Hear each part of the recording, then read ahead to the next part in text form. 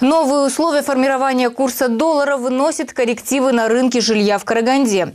Почему многие риэлторские компании вынуждены сворачивать свой бизнес? И как изменились цены на квартиры? Почему выгоднее снимать, чем покупать жилье? И из-за чего люди боятся селиться в новостройки? Экспертное мнение выслушала Ирина Вабищевич.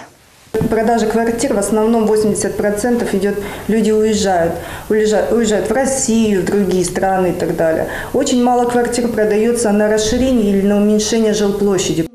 Риэлторские агентства терпят убытки. Многие вынуждены закрываться, а те, которые держатся на плаву, сокращают свой штат. С момента перехода к плавающему курсу тенге продажи сократились вдвое. Если раньше в работе агентства было 600-700 квартир на продажу, то сейчас едва наберется 300. Да и это в основном те, кому срочно нужно уехать. Доллар растет, цена на квартиру должна падать. Но она не падает. Это для многих э, собственников квартир, как сказать, психологически тяжело снизить цену. Они еще не понимают, э, по какой цене им сейчас продавать.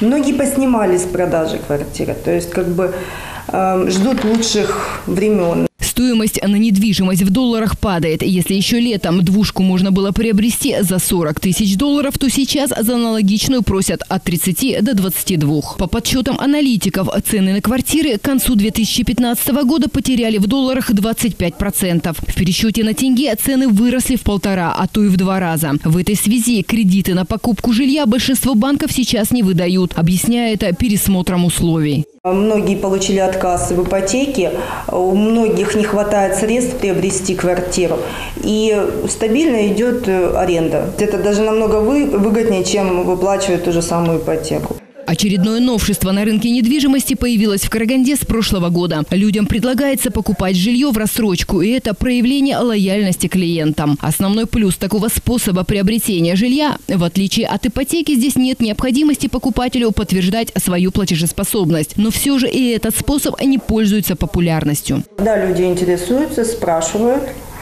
но пока не рискуют брать, потому что а, в кризис как бы никто не может предугадать дальнейшую выплату, дальнейшую цену этой квартиры и что она э, будет стоить, когда он ее будет продавать. Карагандинцы все же предпочитают рынок вторичного жилья. Пусть не новое зачастую требующее ремонта и замены коммуникации, зато проверенное. Новостройки все меньше пользуются популярностью. Это вызвано тем, что застройщики все чаще стали дискредитировать себя. Ирина Вабищевич, Арман Бектубаев, Владимир Иванюк, Пятый канал.